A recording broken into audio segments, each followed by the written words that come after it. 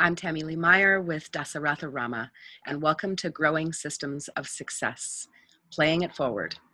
Uh, this segment, we're going to focus on the, the Growing Systems of Success canvas.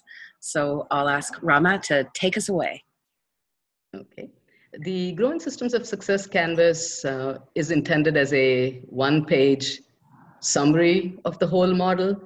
Uh, I'm hoping it'll serve as a visual reminder that once people see it, they can remember all the components. And there are a lot of them. There are 20 plus components in the model. And even though we might be just working with one of them, I think it's a quick review of what it is. It was developed by Boas Branding, and uh, I'm truly appreciative of the work they've done because uh, you know I can't draw, so it's it's helpful when somebody has the graphic skills to take what I'm trying to say and create that for me. Absolutely. And it is all about collaboration because everyone has different skills. Yeah. Yes. Great. So let's jump in. Okay. So again, Tammy, we are going to be using the um, using the Plectica on this one. Wonderful. And uh, what I'm going to do is I'm going to walk us through pieces of the canvas and how I see us using them in practice, and then wrap it up with you know a view of the entire canvas. Perfect. So that way we can go piece by piece. So quick recap, we talked about the orchestrator, influencer, and participants in networks. Uh, influencers are very important. They uh, are the energy source in the network. They help participants grow their systems of success. So the first thing, uh, and I've used tags to show how I'm thinking about each of the parts of the canvas in a scenario. So if I take my own network, which is the Growing Systems of Success Facebook group that I'm trying to orchestrate, uh, my intent is growing systems of success.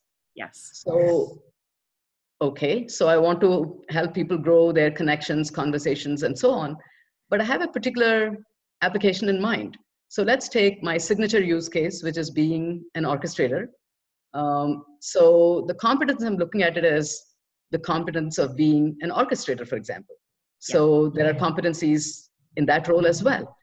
Uh, it could be for any role, but in my particular group, the participants are hopefully they're you know already orchestrators or might be becoming orchestrators and that's one group of audience that i hope to serve yes so so let's you know take it from there. So what i would like is for this group of orchestrators to grow their own systems of success which means to grow their own competence in uh, competence in being orchestrators. So what does that look like?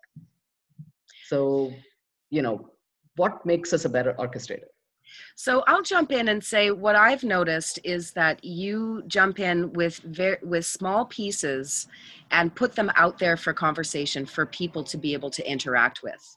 And yes. then based on how people are interacting, you modify how it is that you're going to present next. So it really is an integrated um, exchange that that needs all the players to to make it uh, to to make it live absolutely that's what i've discovered that uh, i'm finding that people connect better to my message when i present it in small pieces one at a time fully well knowing that they're all integrated and they really work together but at the same time people cannot engage 22 pieces at the same time so um, it's very important and again you can see the role of conversations i came to this you know moment of clarity through conversations uh, I used to keep presenting the canvas because I like to think systemically. I like sharing the whole canvas. I would talk about it in sections.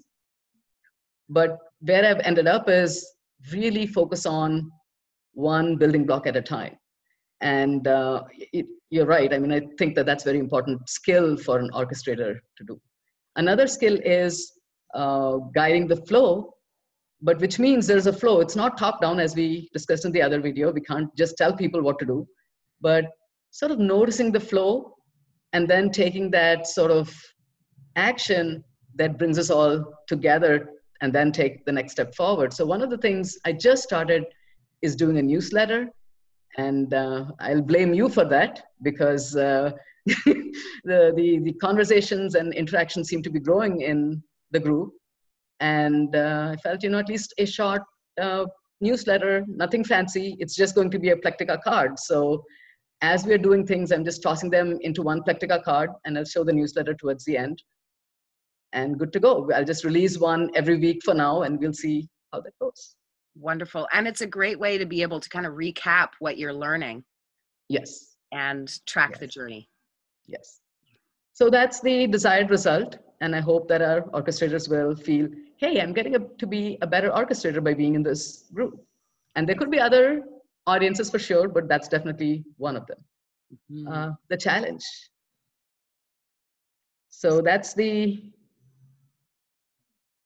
orchestrator piece, piece of the canvas. Uh, now we can drill down a little bit and frame the challenge a little bit more.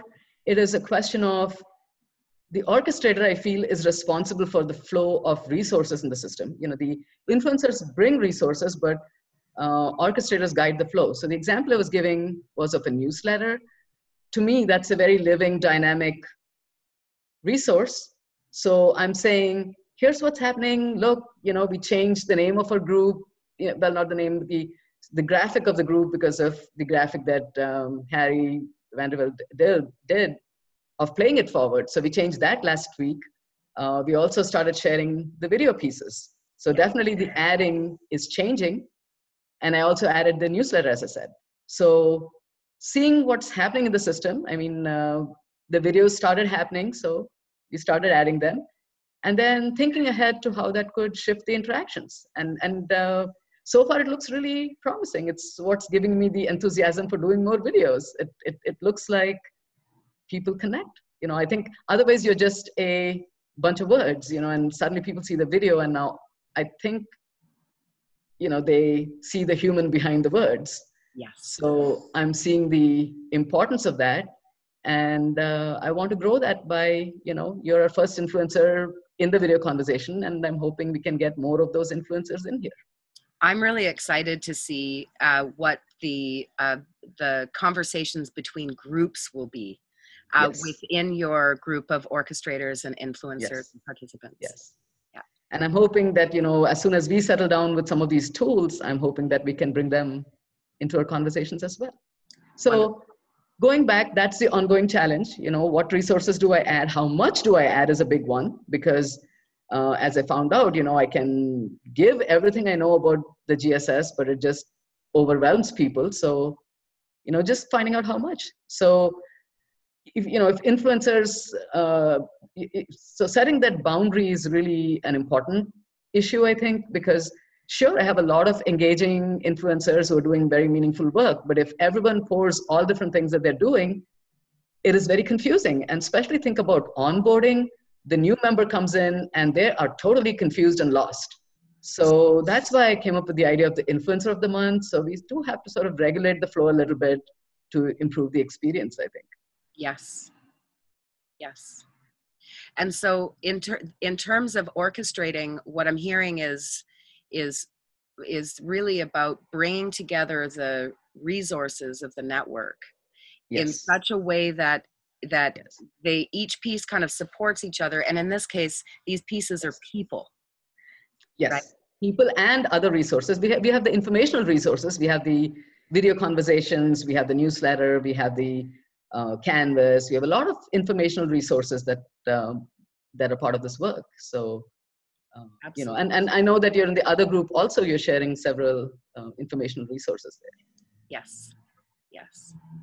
And in terms of growing interactions, what I'm really excited at what we're seeing in the spaces. People are really yeah. responding, and uh, it feels like it feels like a, a real deepening and, and you know, I kind of break down the interactions in the same way as the PhD project. It's a very simple breakdown.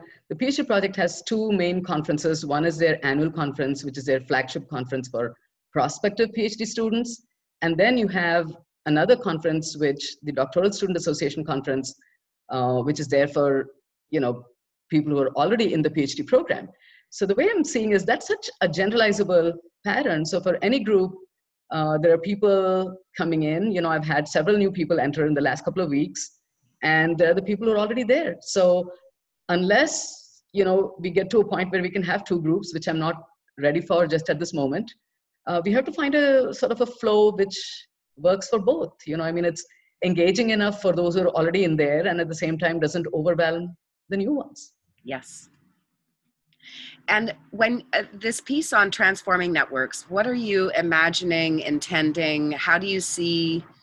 Uh, how do you see that? I'm, I'm you know, picturing already uh, what this uh, network could look like, say tomorrow, say five years from now, say 10 years from now. And I'm very excited. I feel, uh, you know, I can see us doing conversations. I can see, uh, you know, the influences coming into the conversations. And as those are fed into not just the growing systems of success group, but also the College of Systems Thinking and other groups, um, I can sort of picture the growth in interactions. So transformation is uh, sort of noticing what's happening here and now, but also being able to picture what uh, could be happening. And then you have to take the actions in terms of the adding. So T and the plus are related. So even a simple step like adding the newsletter is sort of, you know, building towards that future. Yes, yes. Wonderful. Cool. Okay, what's next? So that was the challenge. And uh, the solution is uh, simpler than we think. Play it Play forward. forward. so the orchestrator doesn't have to do all the work. That's the good news. You know, once you can get some of those influencers in there uh, playing together, mm-hmm. you're on. You know, I mean, uh, so the orchestrator is there, you know, clarify the rules of the game, you know, guide the flow, and then, you know. Yes. So if you can take pause for a minute. Wonderful. And we're back. Okay. Another, uh, just one minute. Can you can you start over? Okay, and we're actually back now. okay. So uh, we were talking about uh, playing it forward, and I'm really getting focused on that building block. I think if it's a one single building block that the orchestrator can stay focused on, and the rest will start to fall in place. So maybe the key question for the orchestrator is how do we really make playing it forward happen? So, how do we engage people in that process? Yes. And what I also love about the visual is the windmill, and that you are going to be working between all of those six C's to yes. be able to facilitate yes. a, a, a full expression of orchestrating a network. Yes, yes. And also, the wheel is the, you know, the influencer turning, the wheel being the energy source. So, there are several things I hope the wheel uh, communicates. Yes, absolutely. So that's the general nature of the solution that we are looking at. Great. And on to the journey. On to the journey. so the journey has uh, five components and uh, we go from awareness to transformation. Um, you know, just walking through our own example, for me, you know, one piece of the awareness was just seeing PhD project work with media impact uh, I already had a level of awareness that I need media making support. So that was good. I wasn't too keen on being on video, but that's fine. You know, we're working through that one. Uh, and then, uh, you know, there's uh, awareness is multifaceted, multi-layered. There are just a lot of different things you have to be aware of. Awareness of what's happening in the space. You know, awareness of influencers because I can see some new people coming in and I can spot the signs, I think they might well be influencers in my group pretty soon. Yes. Some already are becoming influencers. So that's the awareness. And of course, the other part of the awareness is the technical, you know, what does Zoom do? What does it do for me? Yes. But also, uh, I have other awareness. I use ThoughtSpace, I use Plectica, so I can sort of I have the awareness of maybe how to bring those things together. Yes, I love the mashup aspect of this, especially yeah. because uh, in using all of the tools, we can get different windows into the system. Yes. Yes. And uh, that leads to, oh, okay, no problems. I see that somehow it's flipped. Integration should have been over there. No problems. We'll switch it And- around. Look how easy that is. Yes. I don't know how it got switched. Must have happened sometime. Great. Okay. So awareness and then discovery. It, it doesn't, it looks like it, it's trying to pop in there. Yeah. It, yeah. Okay. But I don't know why it should, but.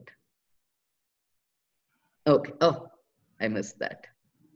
It's easier on the bigger computer. I have uh, more trouble on the laptop somehow. Okay. There we are. There we go. So there we go. It's back. We don't want transformation out of there. So so discovery is where we are. You know, every session is discovery, and I think that's partly why I'm enjoying the Zoom because I think, you know, you mentioned this last time about the show and tell aspect of it.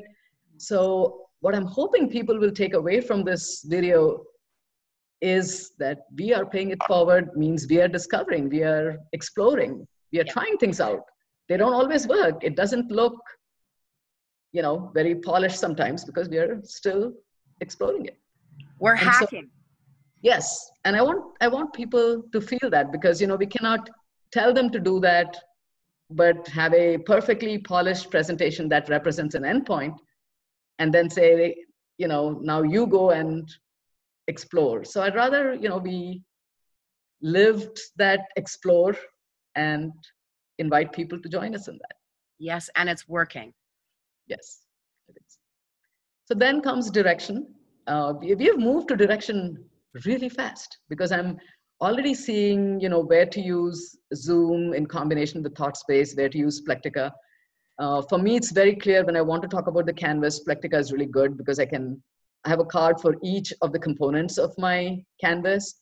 So while Boas Branding decide, designed the canvas, uh, Dr. Cabrera, who you know is sort of the done the work behind Plectica.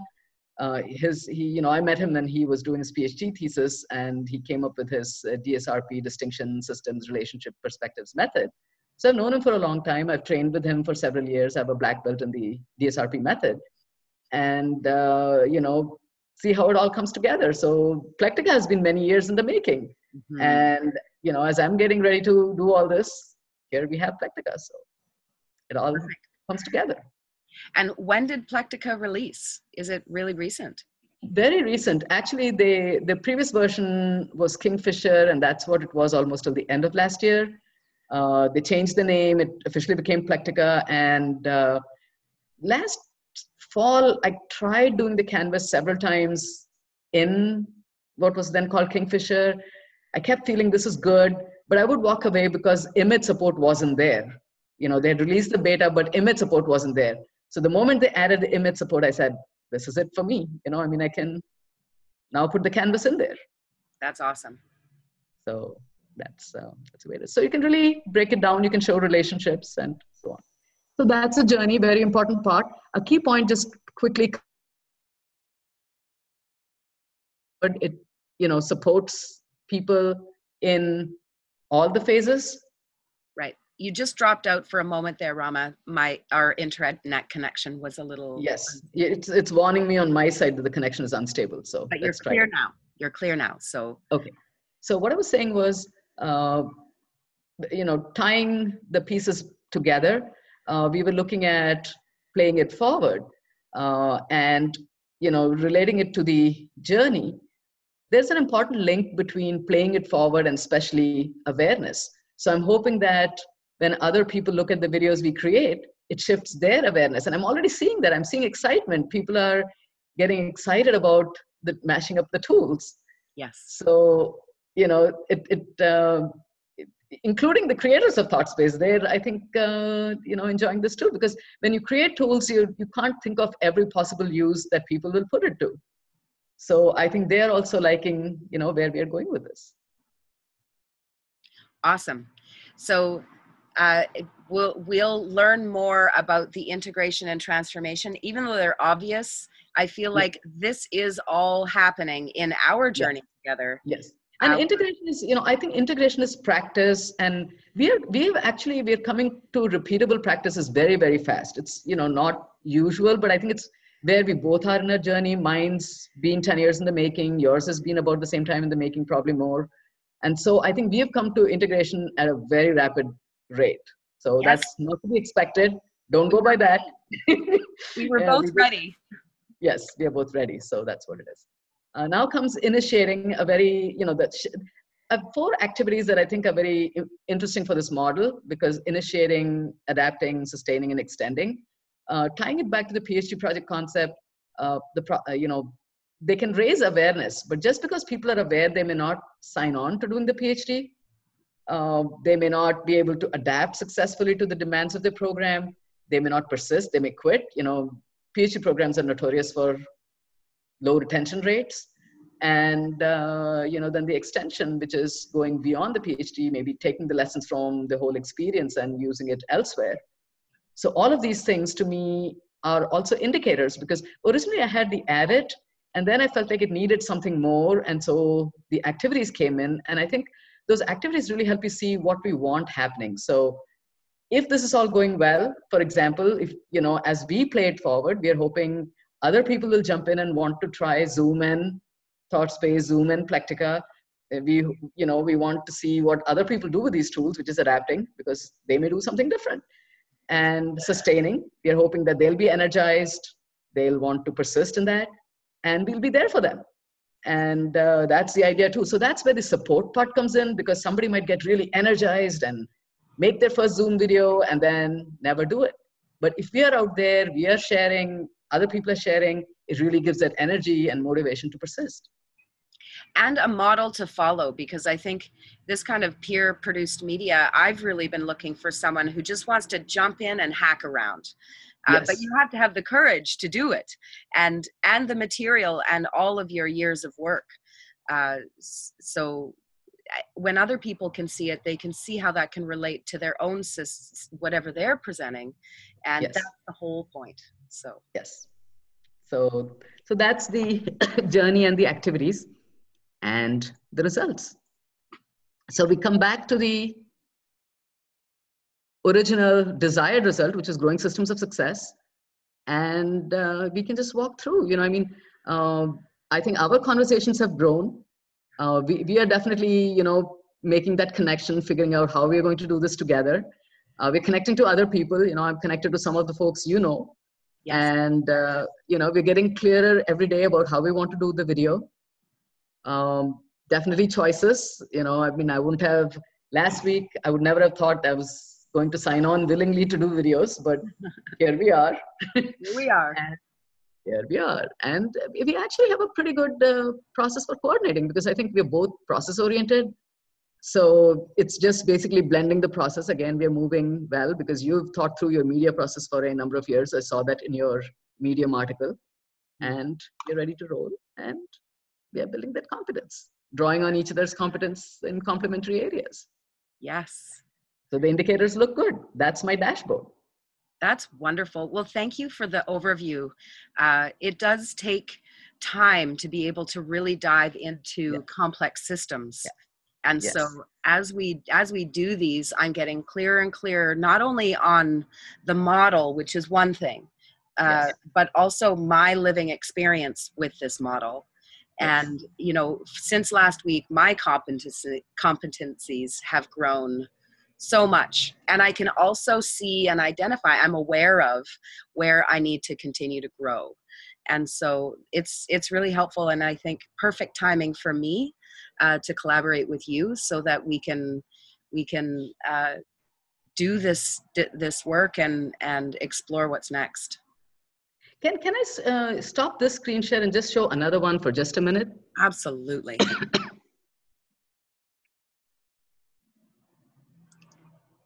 yeah, it's it's been really powerful, Rama. And I can't wait to see how other people will will be in this space with us and that more collective conversation as well. Yes, yes. Mm-hmm.